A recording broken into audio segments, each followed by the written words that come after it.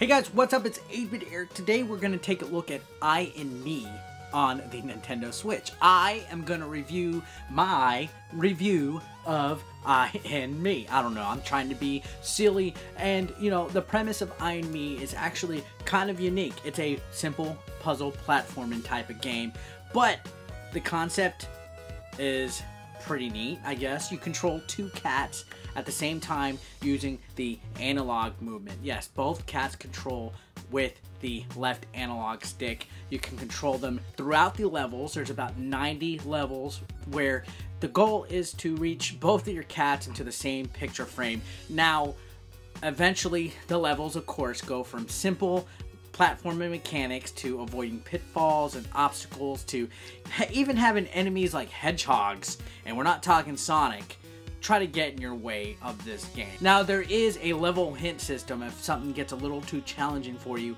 It'll basically show you about 90% of the stage.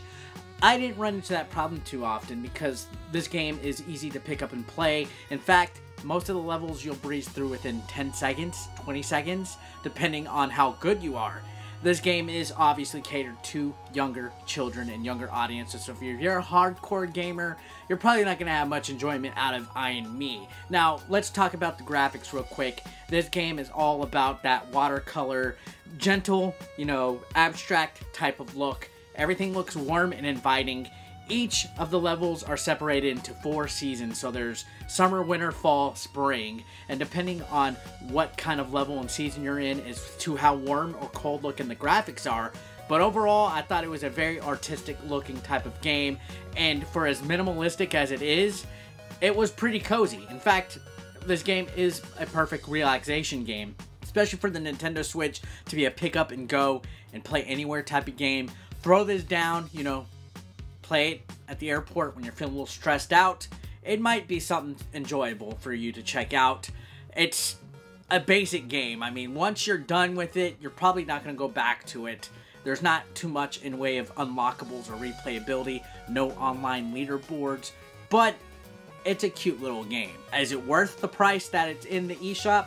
Probably not, but, you know, it could be a lot worse. It could be Room in the Night Sky. So there was a good little effort when it came to developing I and Me. It runs smooth. There's no frame rate problems. There's no graphic problems. The control might seem a little floaty at times, and uh, you know it's not too solid. It's a little loose, but it doesn't get in the hindrance of the game. It's a game that is, you know, I, I don't know. If you like puzzlers and you like something like this, maybe check it out. I know this came out on Steam not too long ago, so it's probably cheaper on Steam.